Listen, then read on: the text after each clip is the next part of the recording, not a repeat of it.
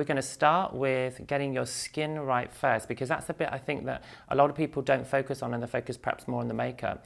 But if your skin's not right, then your makeup's not going to sit right. So I'm going to show you a quick, simple routine to get your skin right. So when you put your makeup on, it sits better, lasts longer, and you look even more fabulous, okay? So in the beginning, we just want to just check the skin, you know?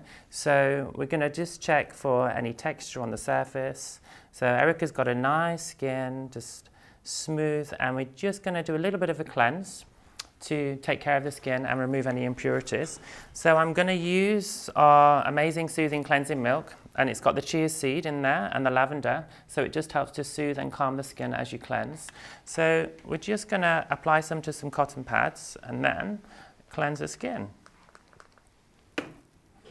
So getting the right things on your skin is really important because as I said, it just affects how your makeup will sit and look on the surface. So I'm just going to just thoroughly cleanse Erica's skin, getting it right. And she's got a nice skin anyway, nice healthy glow to it. So we're just, just taking care of it, just soothing. And here we go. So just being careful to really thoroughly cleanse cleansing around all the little nooks and crannies and just smoothing the surface.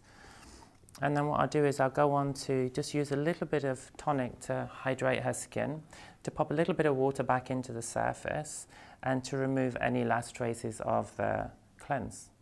Okay, how's that feel, Erica? Good, Yeah, nice. feels nice? okay.